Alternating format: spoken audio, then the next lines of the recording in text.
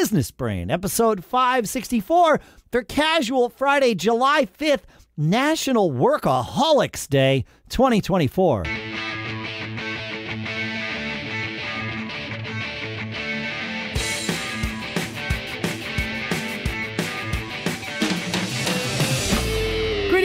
And welcome to Business Brain, the show where we take an idea or three, we crunch them, we dissect them, we analyze them, we use them to tune our business brains yours, mine, his, hers, everybody's business brain together every single episode. Our sponsor this week is fastmail.com slash businessbrain.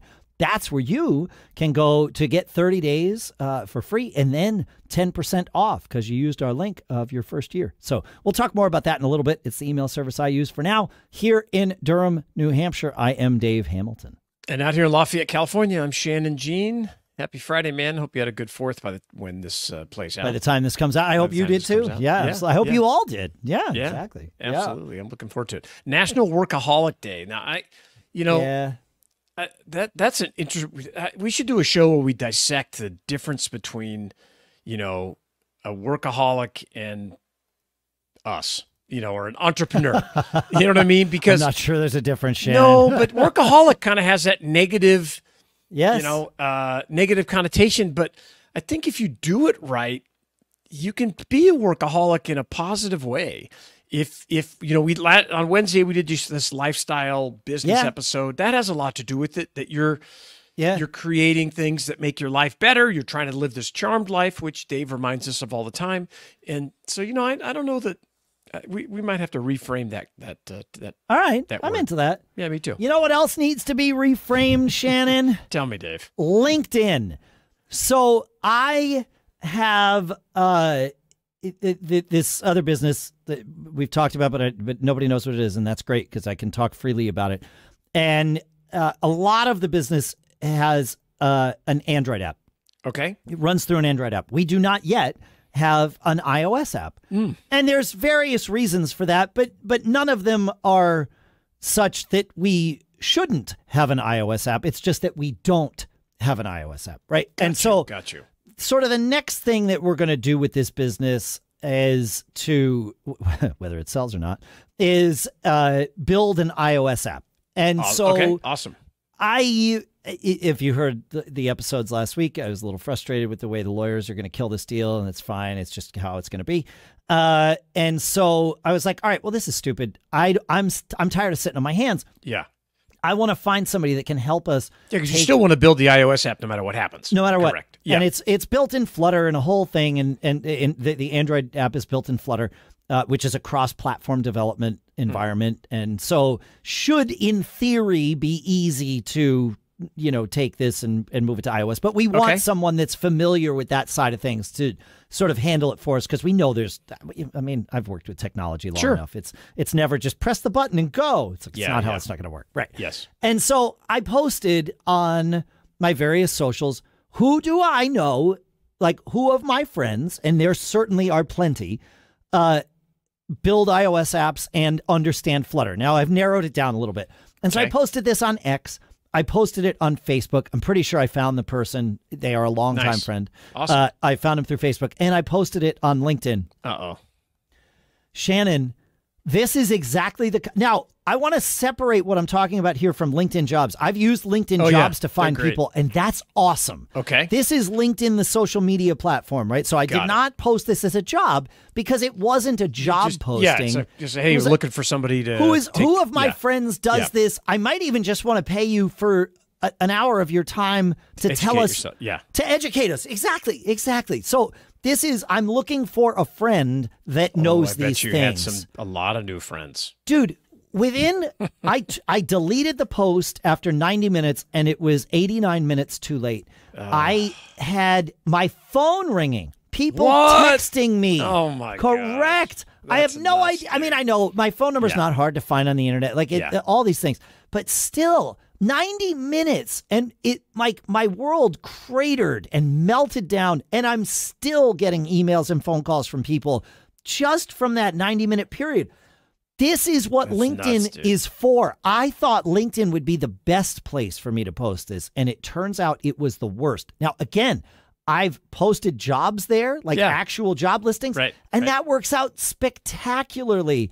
But they have a major freaking problem if they're going to allow their platform to be used like this because I will never do that there again. I mean, I'll I'll post jobs there, but I'll never post anything like that there again. that it was yeah. worthless to me. I, I don't want people I don't No. know. Well, I made that's it really clear. Can you, you know? can you fine tune those posts to only go to the people that like Perhaps. connected? Maybe that's maybe that's a because I know yeah Yeah. Yeah maybe to maybe fine tune it, but yeah you, you have the thing about that having a big audience is it's great, but it can also be a nightmare. Yes. yeah, But and but like you know on on on Facebook, I got a couple of comments on the post Nice. that was like no, that a few that were like mm, yeah like I then I just deleted. It was fine. I just deleted the comment and it was done. But I didn't. My DMs didn't blow up. My phone didn't start ringing. Like that was the LinkedIn thing, and it's like to me that's the platform where that should work. I would agree. It seems like it should. Yeah. So LinkedIn's got a problem. Tragedy. Yeah, but it's like I don't know how they can fix it. I don't know if they're interested in fixing it. They may But- have, yeah, maybe they say, well, you should have posted this in LinkedIn Jobs because it's a job, but you're actually It- just trying to communicate with the people that follow you, or Right, but or I don't I don't want to post it as a job, at least Yeah. not yet. Like I I wanted to just talk to my friends on Yeah. LinkedIn. And that did not work. It failed Yes. spectacularly. miserably. Yes, This 5 minutes just that we've just had right now is the most value I've gotten out of that LinkedIn post and it does not offset the distraction that Yeah. I also earned from it. So, you know, whatever. That's how it goes. Yeah. that's right. All right, folks, have you ever felt like your inbox is plotting against you? Fear not, for I have the ultimate solution, our sponsor, Fastmail. Imagine an email service so smooth, it's like having a personal assistant made of clouds and unicorns. Yep, that's Fastmail. I've been using Fastmail for over five years now, both for my work and personal emails. And let me tell you, it's a game changer. Fastmail is an independent, employee owned email provider that's been rocking the email world for over 20 years. No ads, no creepy data sharing, just pure, unadulterated email bliss. For as little as five bucks a month, you get a private inbox that's cleaner than your grandma's kitchen. Got a partner? Great. Fastmail's Duo plan is perfect for you two lovebirds. Need to manage the whole family's emails? The family plan handles up to six people. And the business plan offers powerful admin controls for your empire. Fastmail lets you customize your workflow with colors, custom swipes, night mode, and more. They've got productivity features like scheduled send, snooze, and a search bar so powerful it might as well have a PhD. Switching to Fastmail is a breeze. Just download your data and import it, and you're good to go. For my Gmail, it actually slurped it right in across uh, from the Gmail directly. Plus, their human support team is available 24 7 to help you out of any pickle. So, if you want to tame your inbox and live a charmed email life, you're going to want to make email better for you with Fastmail. Try Fastmail free for 30 days and get 10% off your first year at fastmail.com slash businessbrain. Again, that's fastmail.com slash businessbrain. And our thanks to Fastmail for sponsoring this week's episode. All right. So you mentioned last week that we were going to talk about building confidence. Yeah, I uh, I was driving home from our river place uh, a couple Yep. weeks ago, and I was thinking about some of the work peak clients that I'm working with, and the, and the underlying stuff that you know you're helping with problem solving. It, it it's it's almost like you're trying to condense nine and a half years of this podcast into an hour call once Sure. a week, right? And talk about all the things we've talked about. But what I've noticed over time with some of these folks that get it or picking it up is that they're getting more confident.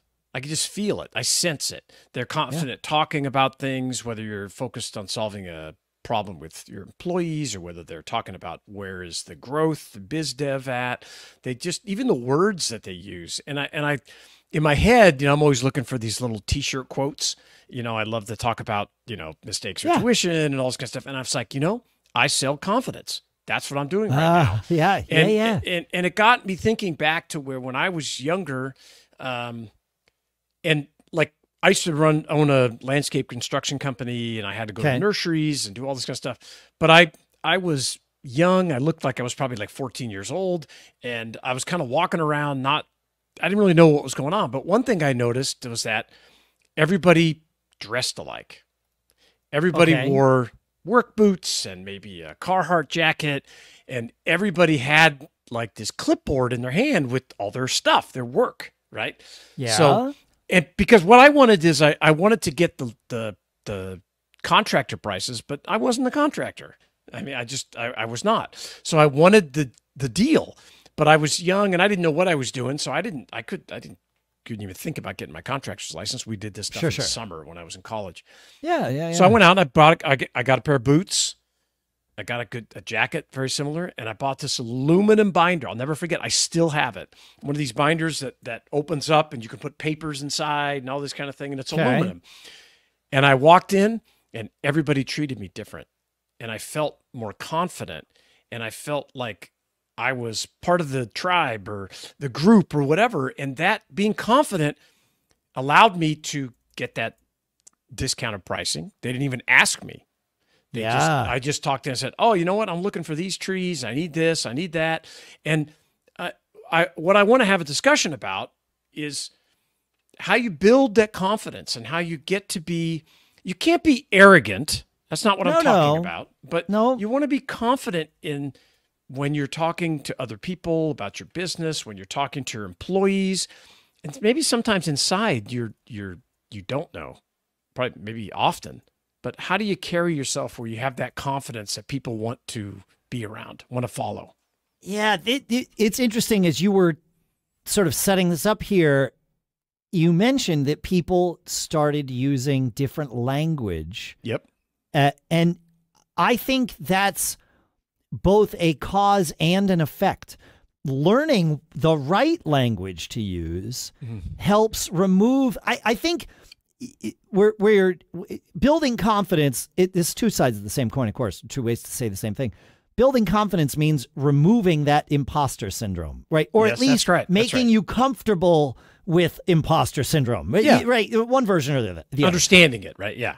Yeah. understanding it and yeah and really sort of managing imposter Yes. syndrome and part of it is okay well i know that if i walk in there and say the right words or i know if i dress the right way or i know that if i uh, have my aluminum binder that you know i'm going to i know i'm going to be treated differently and then not only are you carrying the aluminum binder but you're carrying yourself differently Yes. you're you're and and those kinds of you know they're mind hacks if yeah. if You're for lack of you're- anything you're, else more confident. You in the words But- you're using, all that stuff, right? but that's the thing is it's like you're educating yourself about this it, you're educating yourself about appearance eh, which is important but also about language which is Yeah. equally important if i go hang out with musicians and you know use slang for the way we talk about uh, like depending on the types of musicians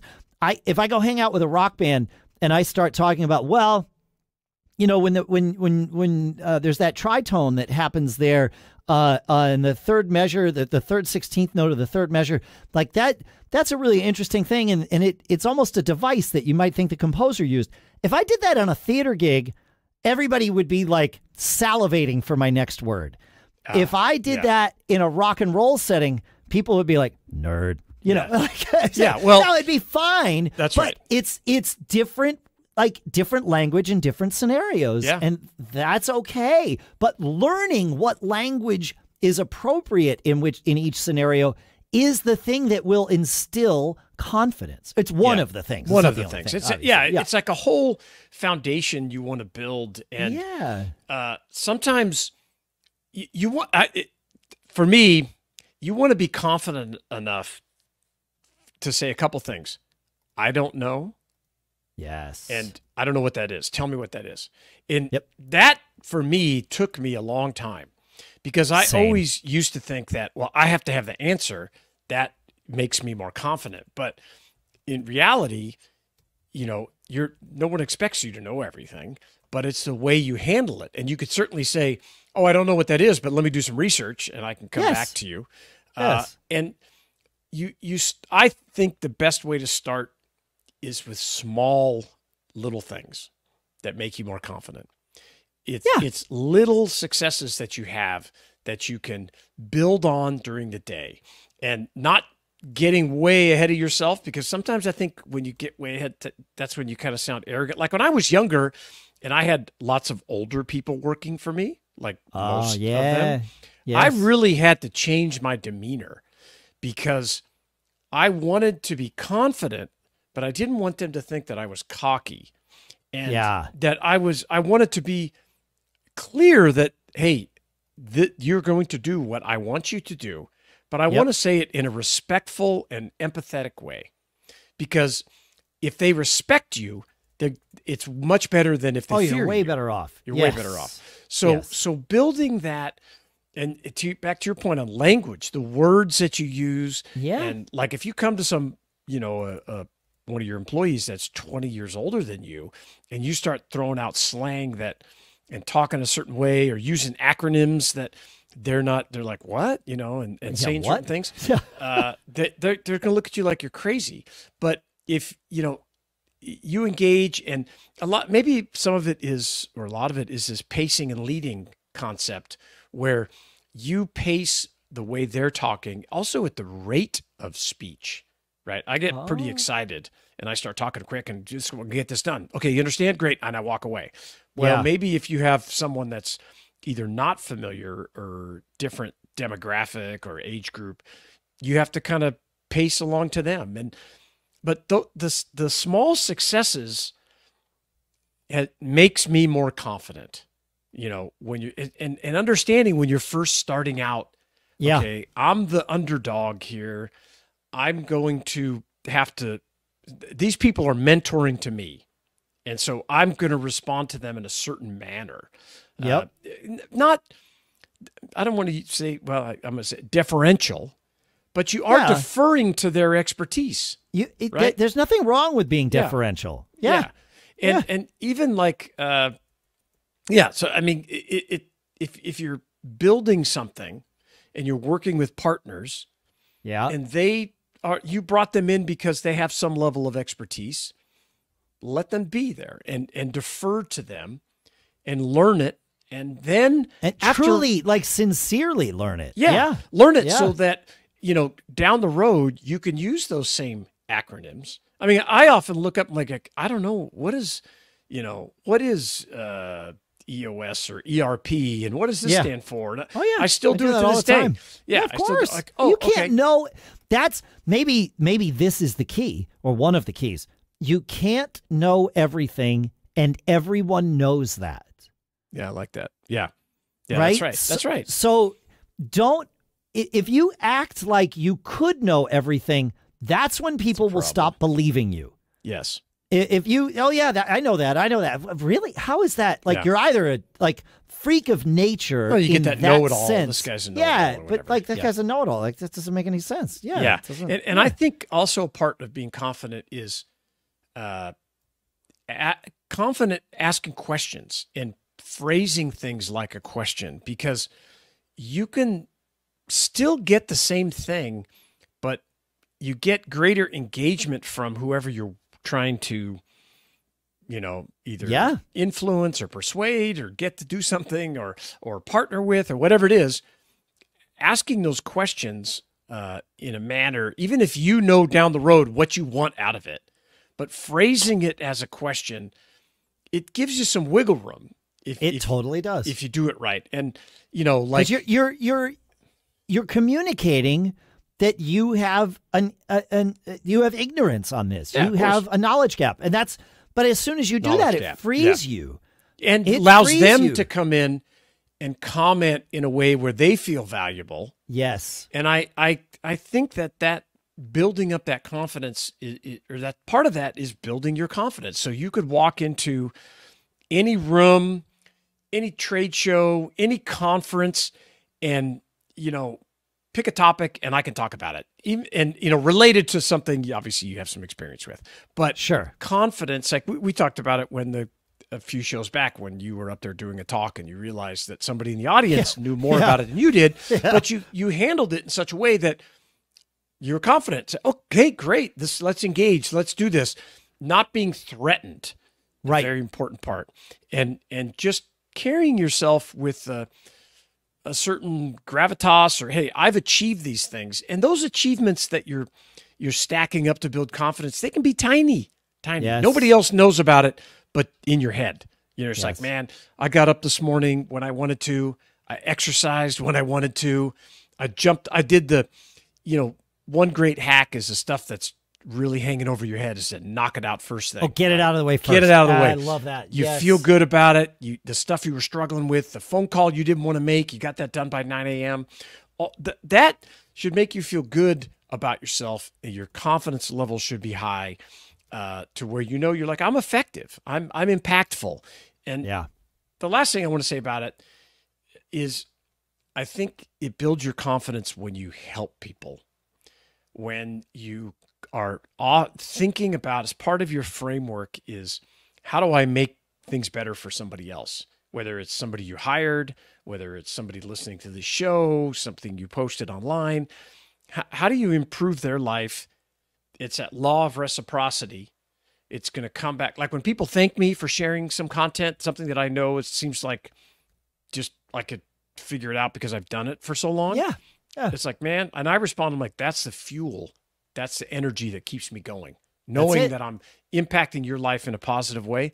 That the makes me feedback that we get from you for doing Yeah. this show like i've been getting feedback from people for 20 years doing the podcast that i do and that is the fuel Yeah. that keeps me coming back sure i make some money from it sure i've grown some businesses from it all that stuff's great but like it, that doesn't happen first. No, the first action. thing that happens is the fuel. Yeah the fuel yeah. right. and taking action uh, little Yes. bits and and recognizing in your head because that's where most people live most of the time. It's like okay i've done this i've done that. I, I these are great things that make i should feel better because i've achieved these things. And you be the judge. You you decide your own you know you define the success of your day your week your month you know whatever Yeah. your year that should be a song. Um and uh, sounds like it is. Yeah. And, and so anyway i just thought you know song you I- could sing it- for your friends. There you go. That's perfect.